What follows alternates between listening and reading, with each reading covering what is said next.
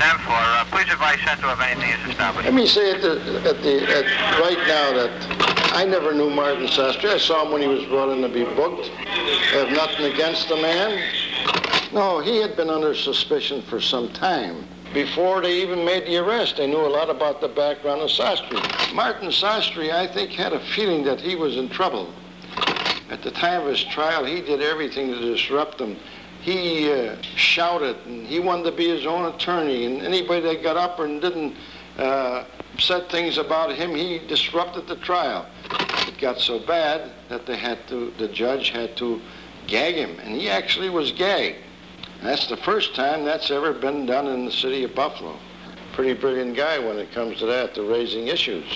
A man like Sostre, if he put his mind and did the right thing, he could have, a man like him could be a good lawyer.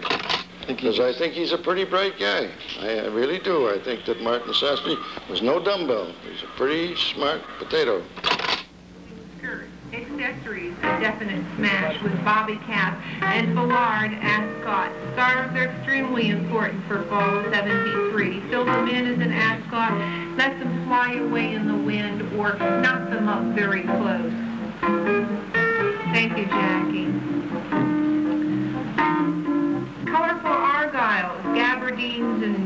Here's the perfect partners, patterns and stripes on a camel ground a versatile trio that will fit beautifully into your everyday scheme of things. Again, notice the shearer legs,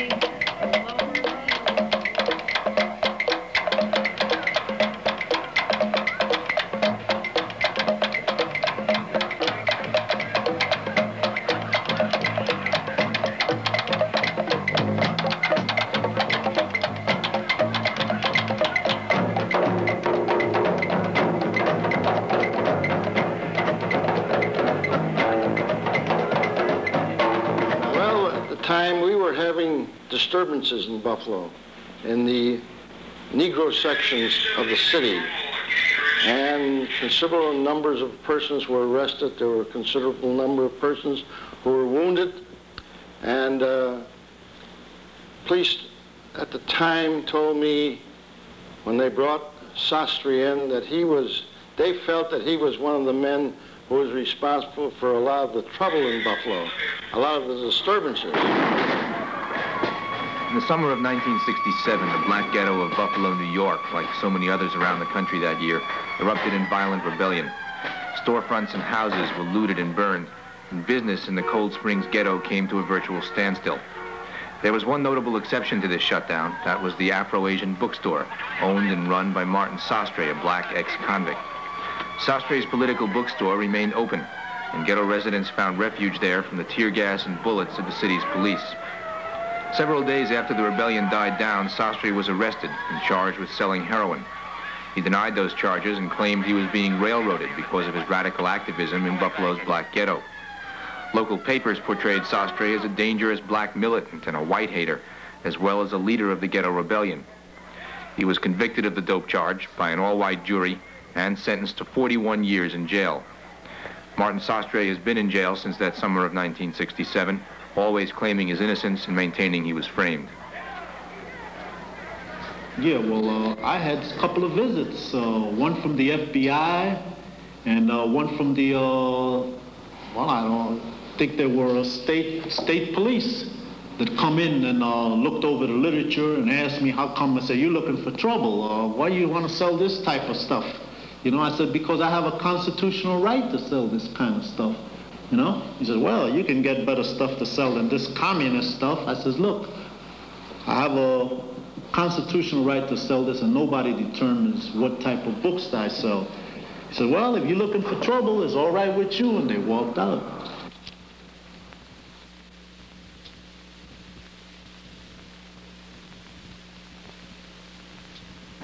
At the time, I was chief of the Narcotic Bureau of the Buffalo Police Department, and as such that uh, our main function was to arrest violators of the narcotic drug laws, especially those that would sell narcotic drugs. And uh, Sostre mm. was a substantial peddler. There was no doubt about it. Uh, we had had many, many complaints from the different people. Our intelligence information from our various informants and others absolutely ascertained this. Uh, he was uh, investigated, arrested, and uh, successfully prosecuted, and now, of course, uh, sentenced to 30 to 40 years, and this is where we are now. I was working at the night he was arrested. And uh, when he was brought in, the, the police at the time told me all about him. Well, they told me that uh, in the basement, under his Afro-American bookstore, they had found a considerable number of Molotov cocktails, which they felt were being made and manufactured in this basement. I have a copy of an article you wrote on July 15, and the title of the article was Man Held as Insider of Trouble.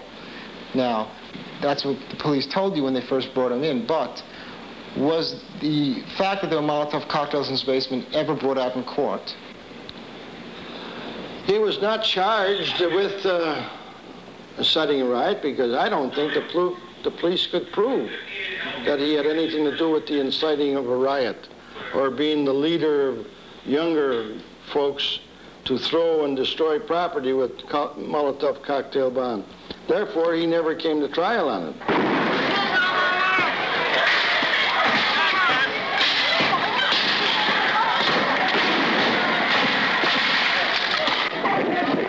We have the greatest relations in the world, which we have had ever since. That's on, that's on camera. All right, good. Uh, know it. we've had good relations. We've had a few troublemakers around, a few agitators.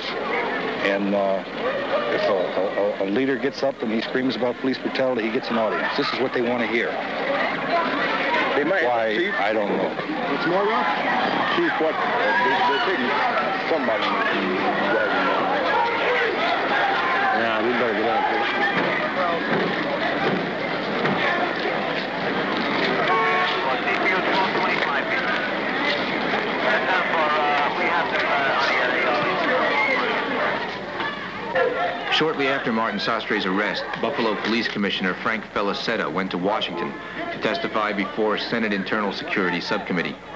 At those hearings, the commissioner referred to Sostre as Martin X, and he labeled Sostre, quote, a prominent figure in the recent disorders in our city. Felicetta told the committee that a raid on Sostre's home on Jefferson Avenue had uncovered considerable evidence of, quote, equipment for arson and riot incitement. Felicetta's allegations about Sostre were completely unsubstantiated, but they were featured prominently on the front pages of Buffalo's major newspapers, only three days before a county grand jury was scheduled to consider an indictment in the Sostre case.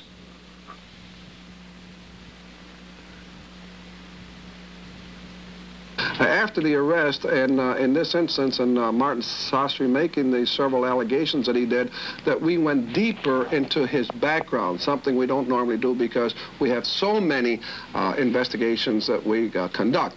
But when uh, Martin Sostre made it a point that uh, with the way out allegations that he constantly made, then the commissioner and myself as chief crim, chief the narcotic bureau had made in-depth investigation and background. Insofar as any uh, uh, subversive activities prior to that, they might have been something of just general knowledge and nothing that uh, caused uh, the Buffalo Police Department at the time to make any particular uh, special investigation into. Martin Sostre was arrested uh, by our department because of his involvement in sale of narcotic drugs. He was convicted, there's no doubt in my mind, by the jury because of the sale of narcotic drugs, period. Buffalo in the late 1960s was like a lot of other places. It was mostly scared. And it was scared in a funny way because it had, the people in it who were scared were the people who controlled the town. That is, the, the ethnic groups which had been in political control of the town for a long time, mostly the Italians and the, and the Poles, who, who suddenly felt as if everything which they had established was, was being threatened, on the one hand, by the black community, which was, as black communities go, not very militant really in this town, and especially, I think, for a while by the uh, university community, which was fairly militant. And uh, what, what, what, Buffalo decided to do was, was, was to use the police not primarily for law enforcement in you know some abstract sense, but uh, just to maintain the political status quo. So the, the cops were sent out uh, to carry out what was essentially political harassment, but some cover was needed for it. And, uh, and the cover which, which was found was, of course, drugs. Martin came to Buffalo in October of 1964 upon his release from Attica State Prison and saved up some money to, to rent the storefront, fix it up. And it was on Jefferson between Woodlawn and Ferry, which is really the, the heart of the black ghetto. He sold um, a lot of black nationalist writings, jazz records, soul records, African carvings. He was the only place in um, this whole area where you could get anti-Vietnam War literature. This was the Afro-Asian bookstore from about March 1965 to July 15, 1967. This was the first of three bookstores that Martin Sostre opened in Buffalo. And this is where he was arrested uh, about midnight on July 15, 67.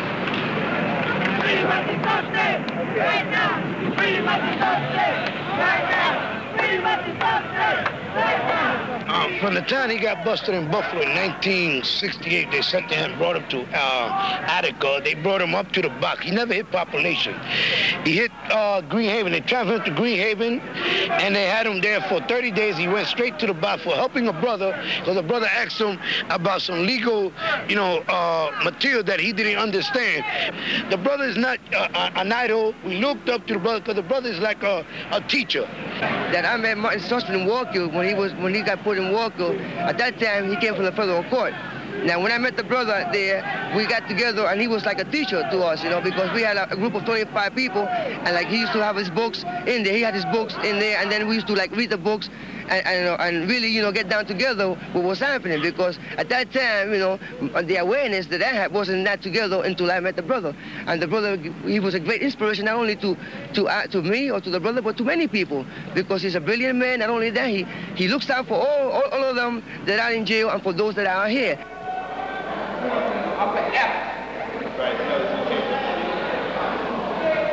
This is such a general, almost everyone in prison considers him, you know, that has any political awareness considers or, or considers himself a political prisoner. However, I distinguish between a political prisoner in its classical sense and a politicized prisoner, one who has become politically aware while in prison, even though the original crime that he committed was not a political crime. Are many prisoners being politicized, John? Yes, many, many. Many prisoners, especially now since they have to let in a certain amount of literature. That was why I fought that case so hard, uh, Sostre versus Otis. Uh, that opened up the door to uh, letting in political literature, which uh, before that uh, was banned. And uh, even though they don't like it and they try to slow it down and hold it up while it's examined, there's more of political literature now than ever. But I want to know, has uh, there been any plans or has it been discussed of getting uh, the men out of cages and having a, a more humane system in dealing with, uh, with uh, the humanity, just like the visitor's room? You hear you right. visiting your mother. Let, let me let me let me describe thing at a time. Let me describe. let me finish describing you, the there are some room, inadequate where you can't visiting. see and hear at the same time. In other words, they have a small glass uh, partition, a small glass window where if you speak, they have the speaker down. So if you speak, you can't look. You have to speak like that. So when the other party speaks, I think that's an they have to go down. And uh, this is very barbaric. Even in we, the uh, upstate, uh, we don't have we have a screen. We don't have dungeons here. Uh, Mr. Sostre is referring to single cells. We have no dormitories here. Everybody has a single cell with a toilet, wash bowl, and bed in it. It has a light in it. Oh, I'd sure like to know where it is that you have uh, cells that have lights because uh, none of the floors that I've been in. well, you're in, you're in a witness light. block, and there are lights out in that area where you uh, are able to. Hall lights, not inside the cells. Inside, there's well, one was torn out by your, the previous tenant uh, and uh, smashed and uh, etc. in the same block you're in. Well, I was in A block on the regular gallery. They didn't have no lights, and maybe well, this is lights. something new there's that lights. you put light bulbs. You have actually lights in the cells with fixtures. Let me ask you a question. Are the men able to sit out in the exercise area all day long? Well, we're getting away from the lights the now. uh, Well, there's lighting is out Inside, there. in the cell or outside? The lighting is out there. Oh, out in the hall. lights. Oh, that's different. Out in the hall. now But there's no lights inside the cell. What you're advocating is evidently chandeliers in every cell in the jail. just well, a it's not plain, going to be done. plain ordinary. See, I made you get up off that lie, you know. There's no lying. I mean, well, There's at no least- lights in the at cell, least we got past. At least we got past the dungeon Yeah. stage. You know. Well, call it the a cell, dank hard cell. The tiger cells of Vietnam. I think, uh, as unfortunate as it uh, certainly has been, uh, Attica has called attention to problems. Uh, now, whether this is the only way it could have been done, you know, it's kind of academic uh, to say that. I think uh, Commissioner Oswald had been talking to people all over the state and was doing, trying to do things. In regards to Oswald, Oswald is now playing the role of the honest broker. In other words, he's caught in the middle and this and that. But uh, old timers like me and a lot of other prisoners remember him as being the goon that when you go up before the parole board and you have 20 years in, they hit you with two years. He says you're not ready for the street. Uh, he hit you with three years RO. He's not the honest broker. He's just a veritable Eichmann. He's the killer of the brothers in Attica, not only the brothers, but also of uh, revolutionary whites like Sam Melville. And uh, he's also the killer of his own guards, you know, who he had no regard for. And uh, he's responsible for that. He's responsible for all the crimes of prisoners that have died in prison uh, prior to Attica as a result of being hit by the parole board because they would not uh, cooperate with the parole board because they uh, refused to be made stool pigeons. I don't even want to be sitting next to a guy that would talk like that, to be honest with you. Yeah, of and course. Mr. Oswald not being here to defend himself. I certainly don't agree with anything that was said, and uh, by my presence being here, if anybody would feel that I did, then I'd like to clear that up right now. Uh, it's just a prison, it's just a political uh, ripoff where the warden, uh, he's appointed by the governor. It's a political plum. The Department of Correction uh, deputies, they got about five or six deputies. Even the deputies have deputies. These are political plums. And there's a $120 million plum that they got to play with. That's the uh, appropriation of the New York State prisons, uh, which they can handle anywhere as a closed society. Nobody can come in and audit their books and see what they're doing and, you know.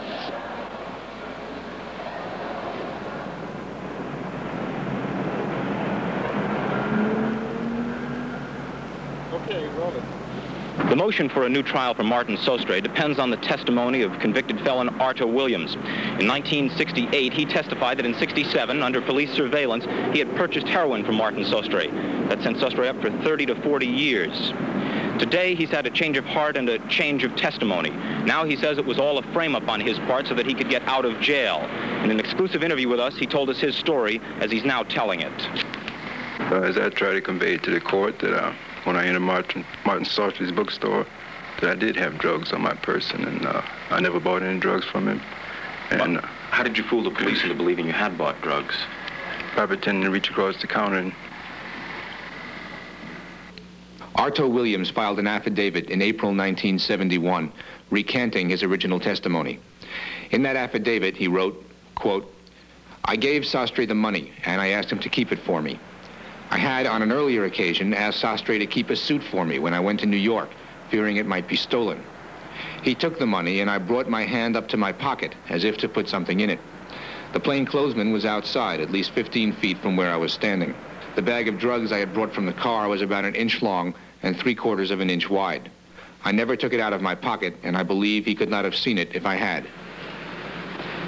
Exactly and briefly, what did you see the night uh, of the alleged drug buy in terms of that drug buy itself?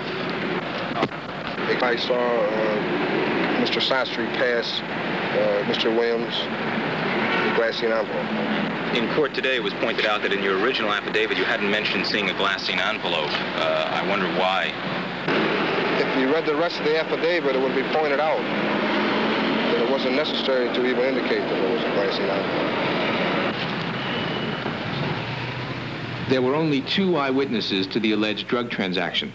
Trooper Lewis Steverson, whose original affidavit never mentioned the glassine envelope being passed, and John Wilcox, a New York State police photographer, who testified in Martin's original trial that he had conducted surveillance of the bookstore from a dentist's window across the street.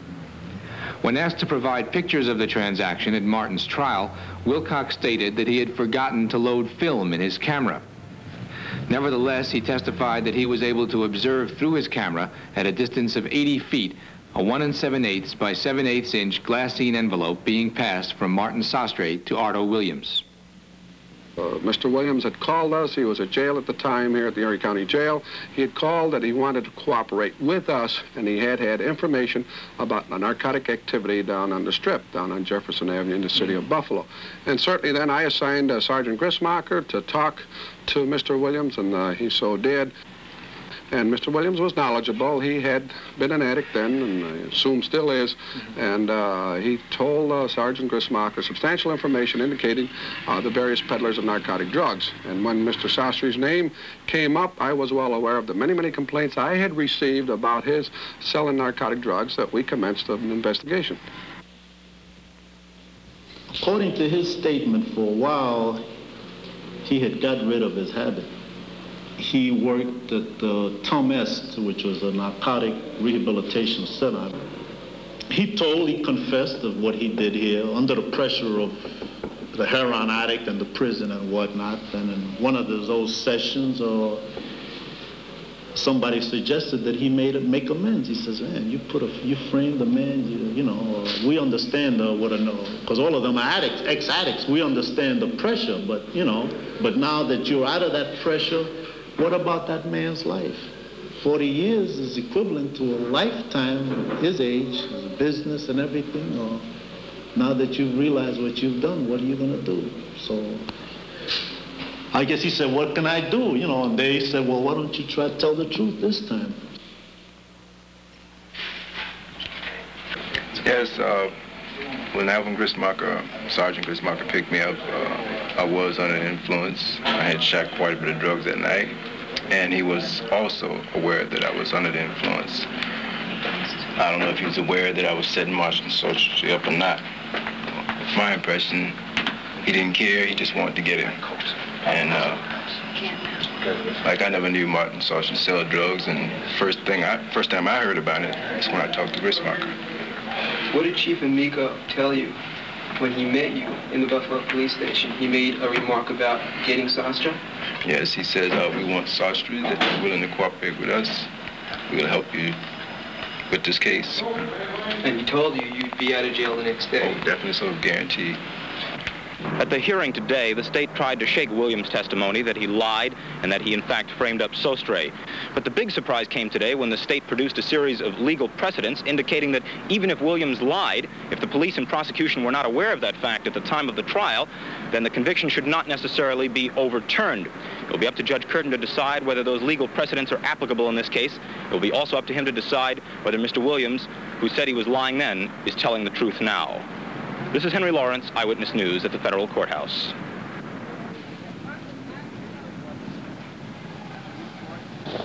From our investigation of the sentence which Mr. Sostre received in Buffalo, we came away convinced that it was a frame-up, that he had been sent to prison because he was disseminating and selling books that the local government in Buffalo simply didn't like.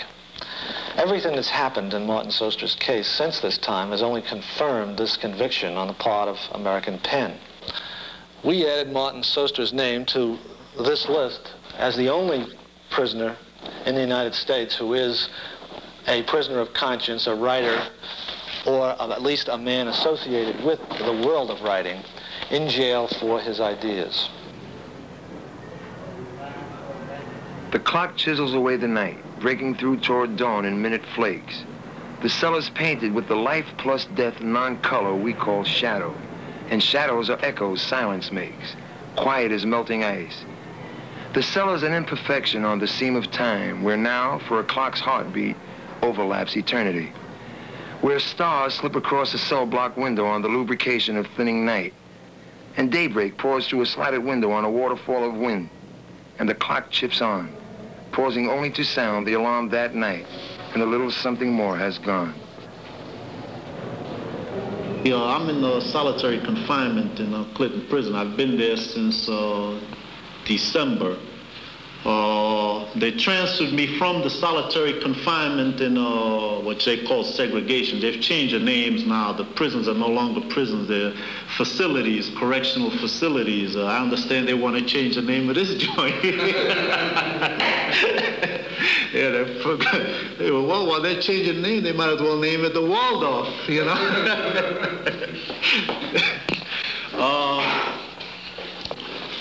uh, I'm fighting the rectal examination issue, and I'm fighting the beard. I've had this quarter of an inch beard. Uh, in fact, I was wearing this outside. This has become fashionable now, especially in the ghetto. Uh, but no, I don't smoke, thanks.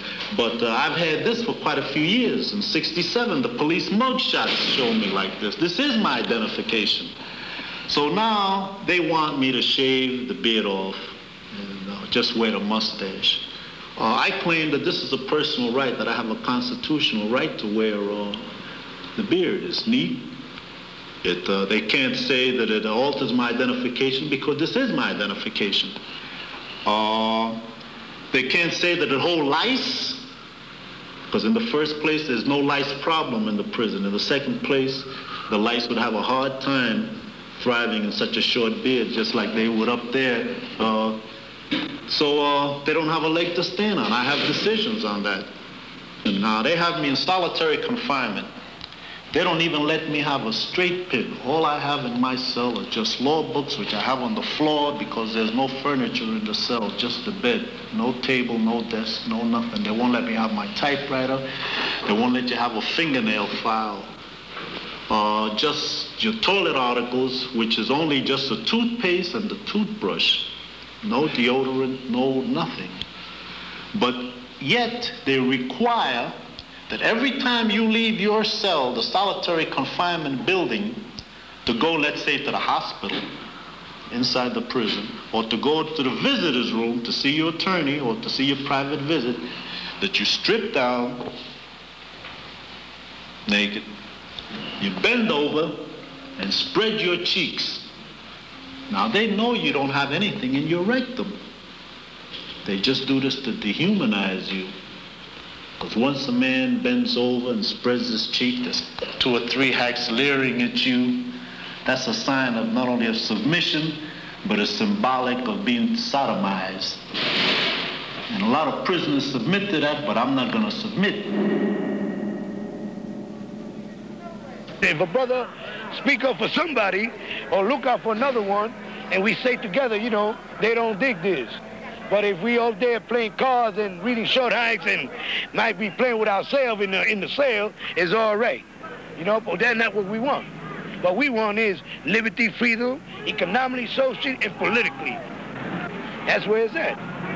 And that's what the brother represents.